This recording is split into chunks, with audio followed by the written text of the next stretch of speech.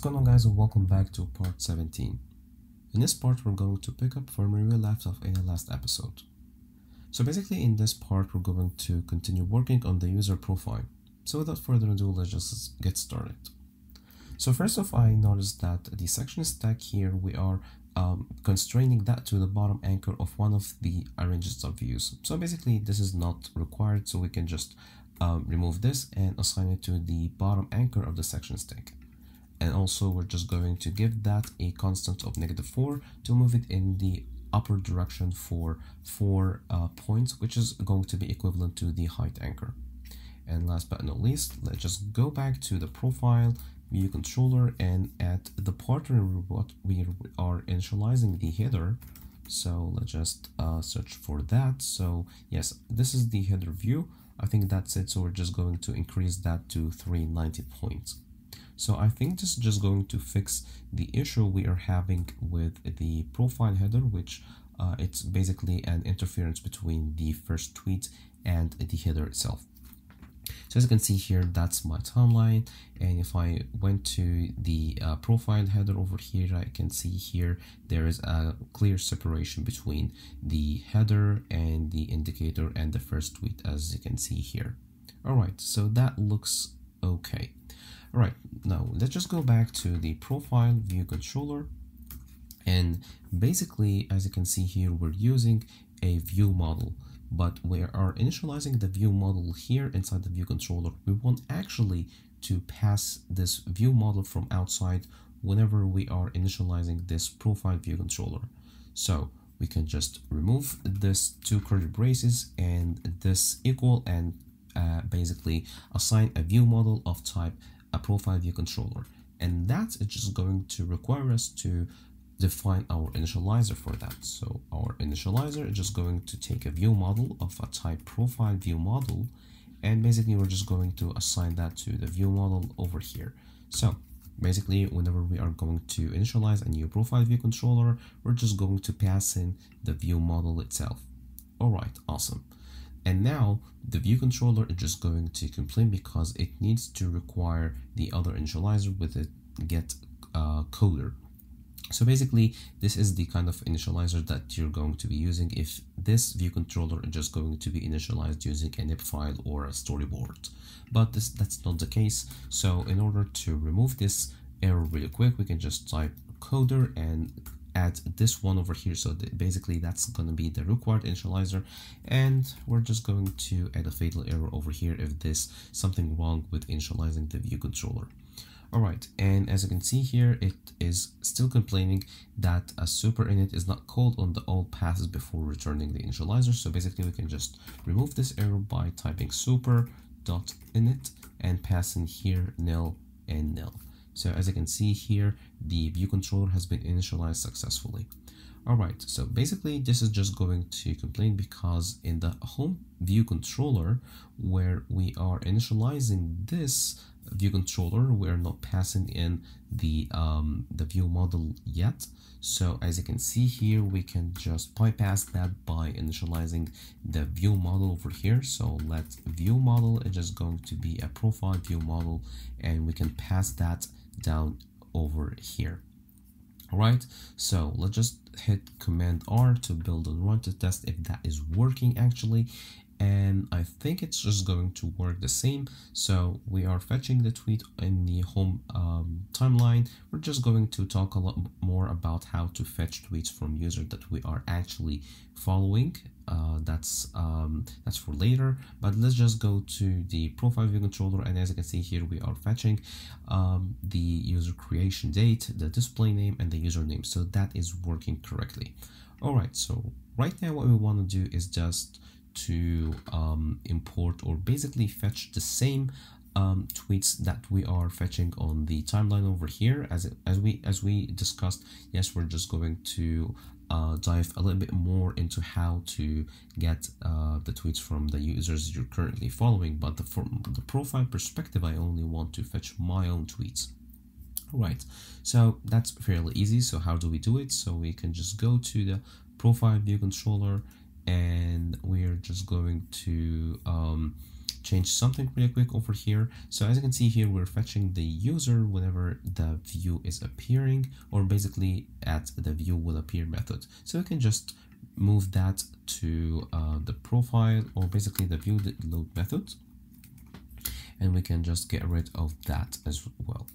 All right, and um, inside the retrieve user, basically after we retrieve the user, we want to fetch these tweets. So let's just initialize this tweet or basically uh, write this tweet from the beginning. So basically I'm just going to write um, fetch um, profile tweets or basically fetch user tweets fetch user tweets and we can do that by accessing the data manager singleton and over here so there's a collection user. Yeah retrieve tweets. This is just going to be retrieved by the user id and we have the user id already since we're just going to be calling this function from here after um, fetching the user. So we can just say something like guard let user is equals to user else return. And here we can just pass in the user ID let me just sink over this. So the completion um, maybe we can just log an error if there is any. So let's just write if case um, failure let error and we can just oh, let me just make sure to write error correctly. All right and here we can just say something like print and error dot localized description. And over here as you can see we are retrieving the array of tweets. So let me just capture weak self over here and uh, have the reference for the tweets.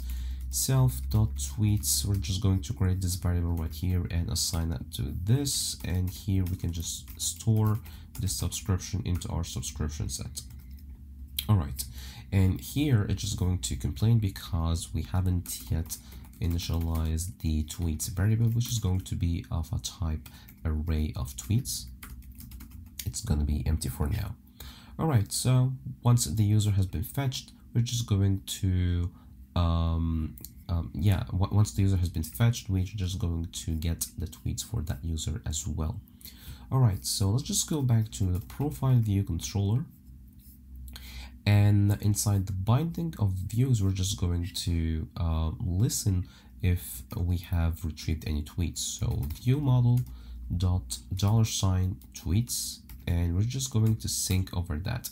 We're not interested in the um, the current value of tweets right now but whenever we fetch new tweets we just want to update our table view.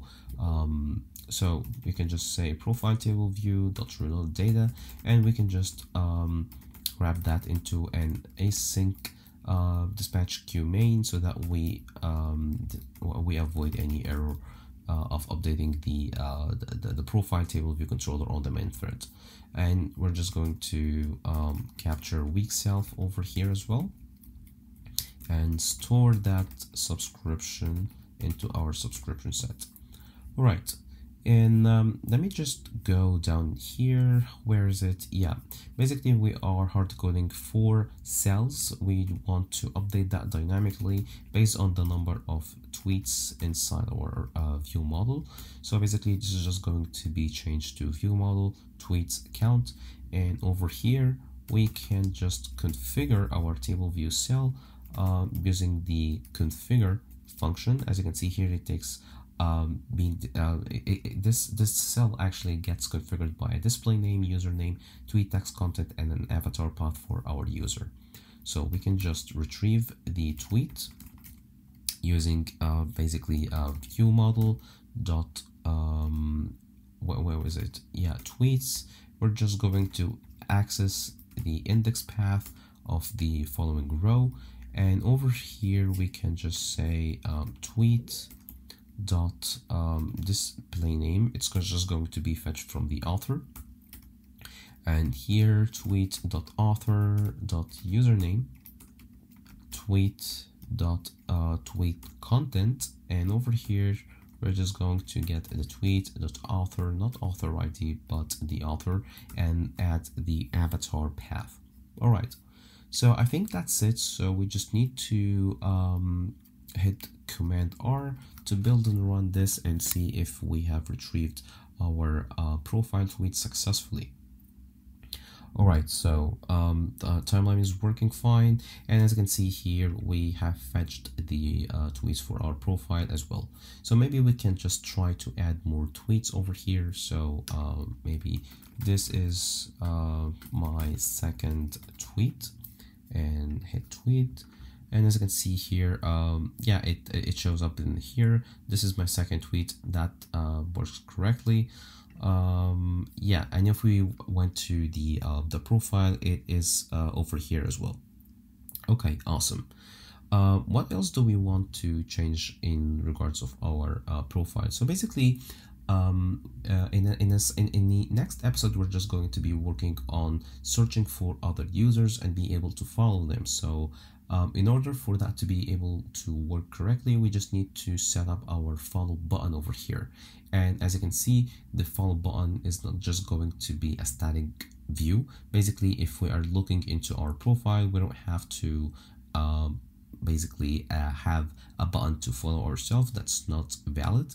Uh, but if we are actually viewing a profile that we haven't been following yet then sure this button should be configured as a follow. And if this user is already inside our following list this button should be configured as unfollow. And actions should be taken accordingly.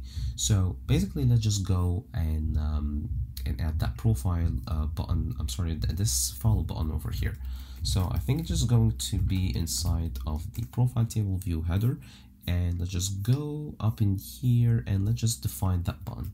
All right, so private let follow button is just going to be of a type a UI button.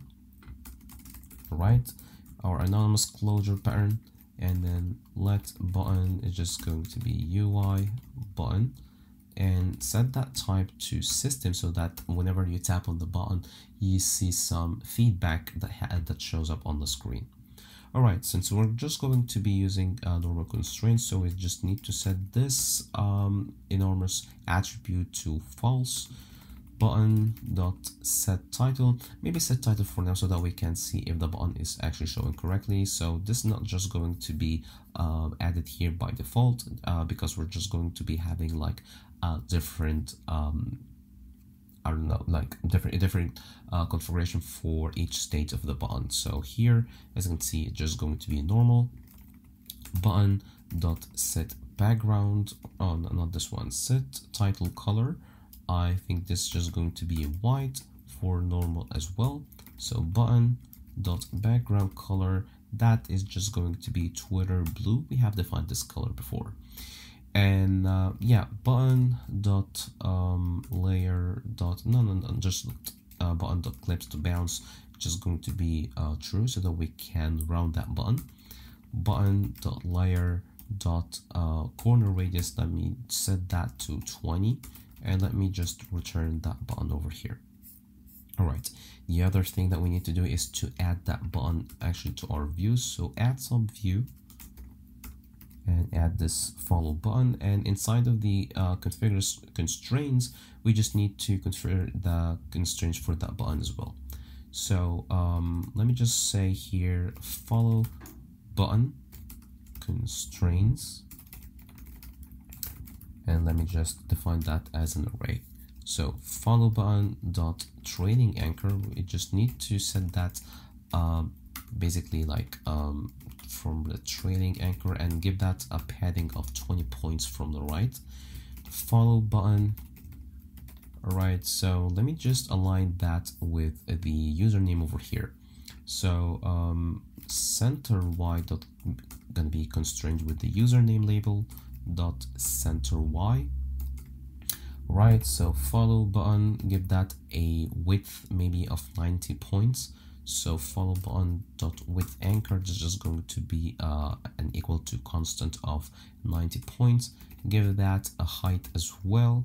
So follow button dot height anchor. This is just going to be constrained to maybe 40 so that we can have that round um, button right.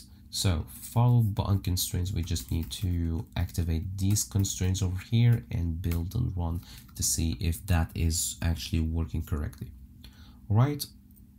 so let's just go to the profile and as you can see here there is a follow button and as you can see here it gives you a feedback whenever you tap on that button that looks amazing okay so the other thing that we want to add is basically a function that controls the behavior or the um, the uh, the shape of the button according to the type of the profile. All right, so um, let's just um, add these functions over here. So private func configure button as followed. So basically, this is just going to be the case if you are following actually this. So if you're following this user and um, it is um, already presented inside uh, your profile as a user being followed, so we want to change the style of that button. So follow button dot set title and here we're just going to uh, add the unfollow action because if you're already following this user the only thing that you can do uh, is to actually unfollow this user all right follow button dot uh, background color and let me just set that to uh, a system background color I want that to match the uh, the profile header. So basically if you're in a light mode it's just going to be white. If in our um, if, uh, simulator is set to the dark mode it's just going to be black all right and here we want to set a layer dot uh, border width to 2 follow button dot uh, layer dot border color and set that to a UI color dot Twitter blue CG color. And uh, I think that's it really. Um, we want to set other functions so private func um, configure button as unfollowed right? And over here let me just say follow button dot set title just going to be the exact opposite. So follow just going to be uh, yeah the unfollow just going to be follow follow button dot background color. This is just going to be uh, the same as um, Twitter blue color. All right um, yeah I think that's it. We just need to uh, remove the border uh, color as well. So follow button dot layer dot border color. And it's just going to be um, UI dot color clear dot CG color. All right um, we want to test that. So um, yeah for the follow button itself we no longer need to have this. Um, and yeah we just need to set the title color as well. So inside the um, the configure as uh, unfollow. So basically this is just uh, the, the followed state. So we just need to say follow button dot set title color and this is just going to be twitter blue dot normal. And basically this is going to be the exact same opposite over here. So basically this is just going to be white. And we want to test that. So inside of our init function uh, we want to configure button um, as followed so that we can test if the button looks um, okay all right let me just see. Let me just go to um, the profile. And as you can see here this is just going to be in case of you are uh, already following this profile. And uh, yeah maybe just test the other one over here. So configure button as unfollowed. So the only action that we're going to be able to see is to actually follow the user. So basically yeah that's it. And um, basically we if, if we are just looking at our profile we're just going to hide that or maybe add another uh, button in the future maybe like edit profile changing your username changing your display name something like this. So um, I think that looks okay um, so I think that's it for this tutorial. If you enjoyed watching this tutorial, please hit that like button and consider subscribing to my channel. And if you have any co uh, comment, just leave them in the comment section down below. So basically that was our happy coding and stay safe.